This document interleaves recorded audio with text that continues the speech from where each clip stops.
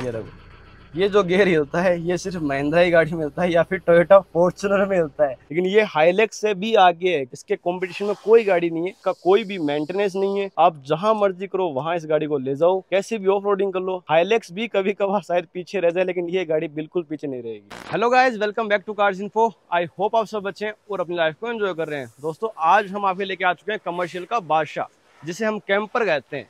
और कैंपर का आज जो है सबसे बेसिक वाला वेरिएंट जो है वो आप ही लेके आ चुके हैं, जो कि है four by two non AC तो चलिए वीडियो को स्टार्ट कर लेते हैं। तो दोस्तों, ये आपके सामने बोलेरो कैंपर और ये कैंपर का four by two non AC वाला वेरिएंट है। साथ ही में आप देखेंगे कि यहाँ पे कैंपर का जो है भंडार यहाँ पे खड़ा हुआ है आपके सामने और सभी वेरिएंट्स जो है वो हम आपके लिए कवर करेंगे। तो हमारे चैनल के साथ जो है आप जुड़े रहें।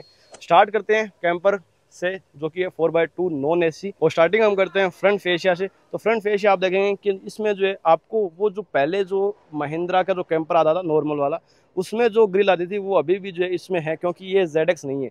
ZX जो है वो ये वाला है, इसमें आप देख सकते हैं डिज़ाइन जो है फ्रंट से कुछ अलग है। और ये जो पहले बोलेरो आती थी, जो S L X Z L X आती थी पावर प्लस वाली, उसका जो फेस है सेम वैसा आपको मिलने वाला है। लेकिन यहाँ पे आप देखेंगे कि जो नॉन एसी वाला फोर बाई है, या फिर फोर बाई जो है वो भी नॉन एसी में आता है ऐसी सिर्फ़ जो है वो गोल्ड ZX में आती है इसके अलावा आप देखेंगे फ्रंट में जो है हेडलाइट आपको सेम मिलेगी लेकिन हाँ उसमें डिज़ाइन जो है वो थोड़ी सी अलग है मतलब उसका साइज़ जो है वो बिल्कुल सेम है लेकिन हाँ डिज़ाइन एलिमेंट जो है वो बिल्कुल अलग है इसके अलावा आप देखेंगे कि यहाँ पे जो है रिफ्लेक्टर बेस आपको हेलोजन बल्ब मिलेगा साथ में आप देखेंगे टर्न इंडिकेटर की लाइट पार्किंग लाइट जो है वो आपको मिल जाती है और बम्पर जो है वो आपको लोहे का मिलता है जो कि आपको बोलेरो में मिलता है तो मतलब बोलेरो जो सीरीज़ है उसमें बम्पर आपको लोहे का ही मिलेगा यहाँ पे आप देखेंगे रिफ्लेक्टर्स जो है वो आपको मिल जाते हैं साथ में यहाँ पे जो है फोगलेम हाउसिंग जो है वो मिल जाती है फोगलेम यूनिट जो है वो नहीं मिलती और ये जो एज ए एसेसरी ही आप जो है यहाँ पे इंस्टॉल करवाएँगे कोई भी वेरिएंट में जो है आपको फोगलेम यूनिट जो है वो नहीं मिलेगा कंपनी से इसके अलावा ग्रिल जो है वो आपको बेसिक सी नॉर्मल जो है फोर स्लॉट या फिर कह सकते हैं फाइव स्लॉट ग्रिल जो है वो आपको मिल जाती है महिंद्रा का ओल्ड लोगो जो है वो आपको मिल जाता है इसके अलावा आप देखेंगे कि फ्रंट बम्पर के ऊपर ही जो है रजिस्ट्रेशन प्लेट का ऑप्शन जो है वो आपको मिल जाता है फ्रंट टॉइंग हुक जो है वो आप देख सकते हैं यहाँ पे और काफ़ी रफ एंड टफ जो है ये मिलने वाला आपको, इसका जो यूज़ है वो बिल्कुल नेक्स्ट लेवल वाला है। इसके अलावा आप देखेंगे कि नीचे से जो है गाड़ी का सस्पेंशन काफ़ी ज़्यादा अलग है। मतलब कि यहाँ पे जो कमानी का यूज़ जो है वो कैंपर बोलेरो नॉर्मल इसके अलावा जो है, जो अपनी पिकअप आती है, उसमें भी जो है कमानी का यूज़ किया जाता है। साथ में आप देखेंगे सोकर्स जो है, वो भी यहाँ पे किस तरह जो है लगाए गए हैं मतलब इनकी जो प्लेसमेंट है वो नेक्स्ट लेवल है। ग्लास एरिया की अगर हम बात करते हैं तो विजिबिलिटी वही सेम बोलेरो वाली आपको मिलेगी, क्योंकि ये जो है बोलेरो का ही एक वर्जन है मतलब जिसमें फाइव सीट ऑप्शन मिल जाता है आपको, उसके अलावा पीछे जो है कार्गो एरिया आपको मिल जाता है। लेंथ जो है, वो आप देख सकते हैं काफ़ी ज़्यादा है। इसकी बात हम बाद में करेंगे। उसके अलावा बोनेट की बात करें तो बोनेट भी आपको सेम बोलेरो तरह मिलेगा और इसमें जो है, हम आपको इंजन बे भी दिखा देते हैं। इंजन बे को एक्सेस करने के लिए जो है, आप अंदर से इसको ओपन करें। यहाँ पे जो है, इसका ये लीवर मिल जाता है।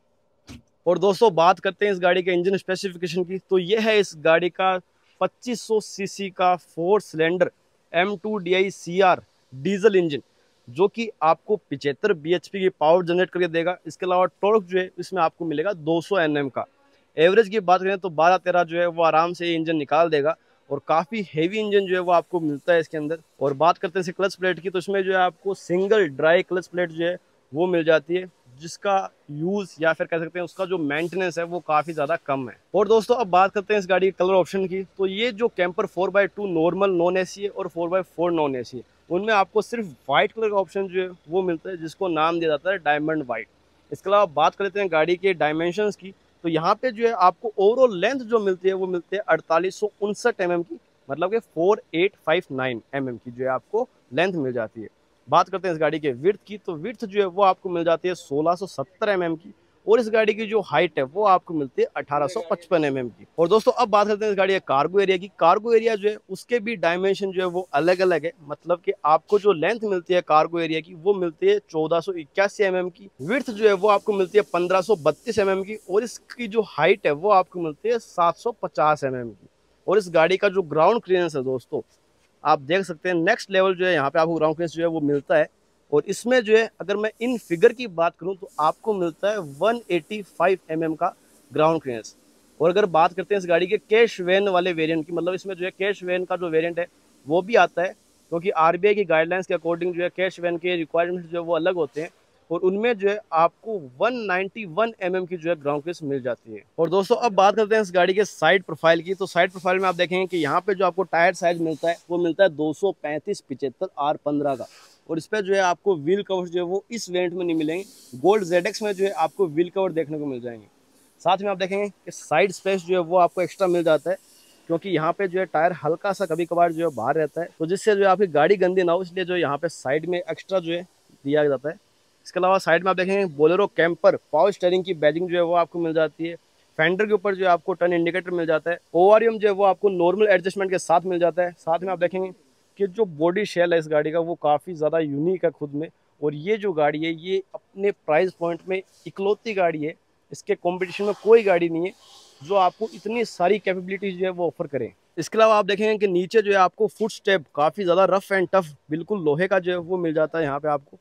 डोर्स पे आप देखेंगे कि जो हिंजेज है वो आपको विजिबल मिलेंगे साथ में आपको ग्राफिक जो है वो कुछ इस टाइप नॉर्मल ग्राफिक जो है वो आपको मिलेंगे इसके अलावा यहाँ पे जो है की होल जो है वो मिल जाता है इस गाड़ी में आपको सेंटर लॉकिंग जो है वो तो नहीं मिलती लेकिन हाँ नॉर्मल की मिल जाती है और सारी लॉक जो है वो आपको इंडिविजुअली लॉक और अनलॉक जो है वो करने होंगे कुछ ऐसा जो है यहाँ पे इसका डोर हैंडल जो है वो मिल जाता है ब्लैक मैट फिनिश के अंदर और यहाँ पे आप देखेंगे कि जो ZX है उसमें भी जो है यहाँ पे स्लो फिनिश आपको ऐड होते हुए नज़र नहीं आएगी ये फिनिश जो है, वो सिर्फ़ बोलेरो के अंदर ही जो है आपको ऐड होते हुए नज़र आएगी। इसके अलावा आप देखेंगे कि रियर से जो है, यहाँ पे ये जो डिज़ाइन है, ये काफ़ी ज़्यादा अलग है। मतलब अगर आपको ये डिज़ाइन लेनी है तो आपको जो है कैंपर या फिर पिकअप वर्जन जो है मतलब फाइव सीटर पिकअप ट्रक वाला वर्जन जो कि हाल फ़िलहाल में अगर इंडिया में प्रीमियम की बात करें तो हाईलैक्स जो है, वो बिक रहा है। लेकिन ये हाईलैक्स से भी आगे है, क्योंकि जब एक हाईलैक्स आती है उतने में तीन आ जाए और कैपेबिलिटी के मामले में ये उससे कई ज़्यादा आगे है, क्योंकि इतनी ज़्यादा रफ एंड टफ जो है ये गाड़ी आपको मिलती है कि इसका कोई भी मेंटेनेंस नहीं है। आप जहाँ मर्ज़ी करो, वहाँ इस गाड़ी को ले जाओ। कैसे भी ऑफ़ रोडिंग कर लो। हाईलैक्स भी कभी कभार शायद पीछे रह जाए, लेकिन ये गाड़ी बिल्कुल पीछे नहीं रहेगी। यहाँ पे जो है आपको फ्यूल टैंक एरिया जो है वो मिल जाता है ड्राइवर साइड और इसको भी जो है की से ही जो है आप ओपन करेंगे। और इसमें आपको 57 लीटर की जो है फ्यूल टैंक कैपेसिटी जो है वो मिल जाती है। इसके अलावा रियर टायर आप देख ही सकते हो। रियर एग्जॉस्ट जो है, वो यहाँ पे आपको नीचे मिल जाएगा। चलते हैं रियर की तरफ़। रियर में आप देखेंगे कि गाड़ी जो है, आपको बिल्कुल पिकअप की तरह लगेगी, क्योंकि यहाँ से ये जो लुक है, ये बिल्कुल पिकअप वाला आ रहा है। कोई ये नहीं कह सकता ये कैंपर है। मतलब कि फाइव सीटर वाला वर्जन है पिकअप का। इसके अलावा यहाँ पे आप देखेंगे कि सेफ्टी के लिए जो है, आपको अलग से यहाँ पे गार्ड दिया जाता है, जिससे रियर विंड ग्लास एरिया जो है, वो थोड़ा सा प्रोटेक्ट रहे। यहाँ पे ये इस गाड़ी का कार्गो एरिया यहाँ पे आप देखेंगे कि जो टायर्स है, उनके ऊपर जो है, आपको थोड़ी सी अलग फिनिश जो है वो देखने को मिली क्योंकि यहाँ पे जो है नीचे टायर को प्लेस किया गया तो एक्स्ट्रा स्पेस निकालने के लिए जो है कुछ इस तरीके से जो है बॉडी सेल को डिज़ाइन किया गया इसके अलावा आप देखेंगे कि महिंद्रा की बैजिंग जो है वो आपको मिल जाती है जो कि इसी के अंदर जो है बनाई गई है मतलब कि इस लोहे के ऊपर ही जो है इसकी फिनिश दी गई है यहाँ पे जो है इसके लॉक जो है वो मिल जाते हैं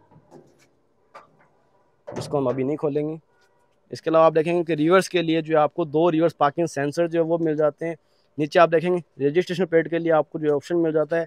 स्पेयर टायर जो है वो आपको नीचे तरफ़ मिलता है, जिसमें आप इस ये जो होल दिख रहा है आपको, इसमें जो है टूल किट का यूज़ करके इसको नीचे उतार सकते हो। और दोस्तों, बात कर लेते हैं अब इस गाड़ी के सेफ्टी फीचर्स की। तो सेफ्टी के नाम पे इस गाड़ी में आपको मिलता है भर भर के लोहा। मतलब कि कहीं भी ले जाओ सेफ्टी वगैरह जो है वो आपको कुछ इतनी खास नहीं मिलती, लेकिन हाँ मजबूती जो है वो इस गाड़ी की नेक्स्ट लेवल है। इसके अलावा अगर नॉर्मल सेफ्टी फीचर्स की बात करें तो रिवर्स पार्किंग सेंसर जैसे सेफ्ट फीचर जो है वो आपको मिल जाते हैं। इसके अलावा फ्रंट में डिस्क ब्रेक मिल जाते हैं रियर में आपको ड्रम ब्रेक मिल जाते हैं पावर स्टेयरिंग जो है वो मिल जाता है। बस यही कुछ फीचर्स जो है वो आपको सेफ्टी के नाम पर दी जाते हैं। चलिए अब चलते हैं इंटीरियर की तरफ़। उससे पहले जो है हम सेकेंड रो की तरफ़ चलेंगे। तो यहाँ से जो इसको इंडिविजुअल अनलॉक करना होगा। तो यहाँ से जो इसको अनलॉक कर लिया है। आप देखेंगे कि डोर जो है वो 90 डिग्री ओपनिंग के साथ आपको मिल जाता है क्योंकि यहाँ पे जो है इस पट्टे का यूज़ किया गया है।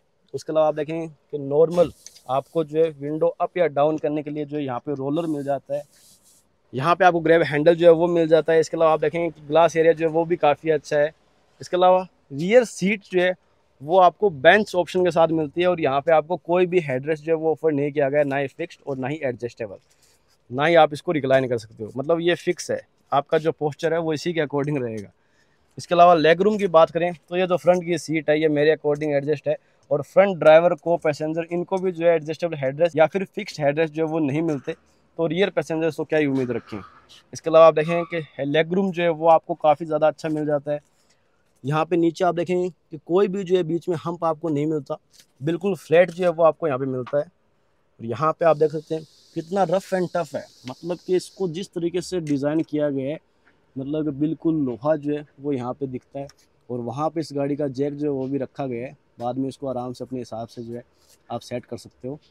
चलिए अब चलते हैं इंटीरियर की तरफ़। उससे पहले बात कर लेते हैं ड्राइवर साइड डोर ट्रिम की। तो यहाँ पे भी सेम वही डोर ट्रिम जो है मिलता है, जो कि आपको रियर सेकंड रो के लिए मिलता है। तो इसके बारे में हम एक्स्ट्रा बातें क्या ही करें।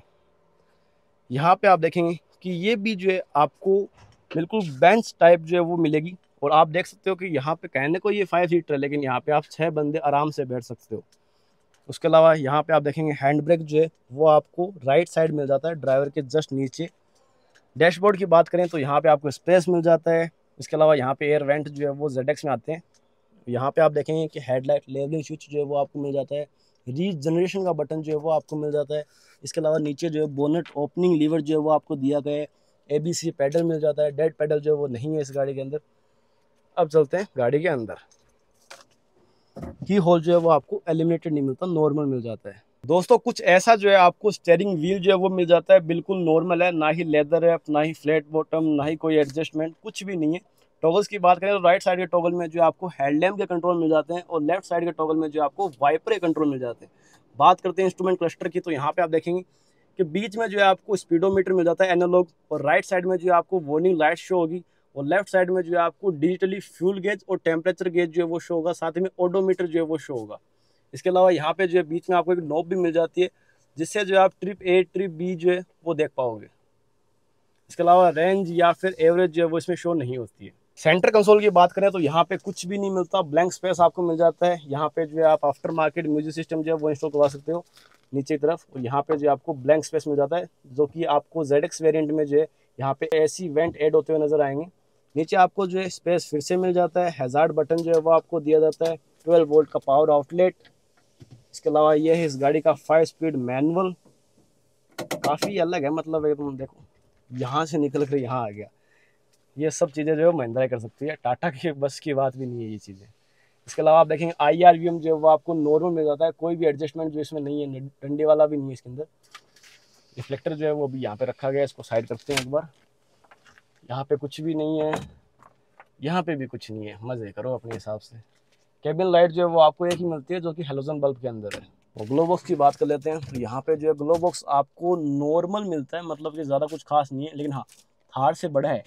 ये दोस्तों, यहाँ पे जो आपको प्रॉपर ग्रैब हैंडल जो है वो मिल जाता है। और दोस्तों, बात कर लेते हैं इस गाड़ी के इग्निशन साउंड की। तो आप देख सकते हैं फैली स्लब जो है वो मैं गाड़ी की ले रहा हूँ। और एक चीज़ और दिखा रहा हूँ दोस्तों, एक बार फिर से आपको। ये देखो, अभी स्टार्ट कर रहा हूँ। ये देखो, ये जो गेयर हिलता है, ये सिर्फ़ महिंद्रा ही गाड़ी मिलता है या फिर टोयोटा फॉर्चुनर में मिलता है। तो जो बंदे फॉर्चुनर में पैंतालीस पचास लाख रुपए लगा रहे हो सिर्फ़ गेयर हिलने के लिए तो वो ये ले लीजिए। काफ़ी अच्छी गाड़ी है। तो दोस्तों, ये था Bolero camper four by two non A power steering के साथ। और इसके लिए जो है आपको एक शोरूम दस लाख छब्बीस हज़ार रुपये जो है वो देने होंगे और आर जो है वो अलग से देना होगा। और बात कर लेते हैं वारंटी की तो महिंद्रा जो है अपने कैंपर के ऊपर तीन साल या फिर एक लाख किलोमीटर की जो है वारंटी ऑफ़र करती है। तो जो भी पहले हो जाए वारंटी खत्म कर देंगे। दोस्तों, ये था बोलेरो कैंपर का रिव्यू। रिव्यू अगर आपको पसंद आया तो वीडियो को लाइक करें, शेयर करें और अपने उन दोस्तों के साथ शेयर करें जो या तो गाँव देहात में रहते हैं या फिर बोलेरो कैंपर लेने का प्लान कर रहे हैं, क्योंकि ये गाड़ी जो है वो उनके लिए बेस्ट है। बिल्कुल ऑफ़ रोड किंग, इसे हम कह सकते हैं। Thank you keep supporting follow for more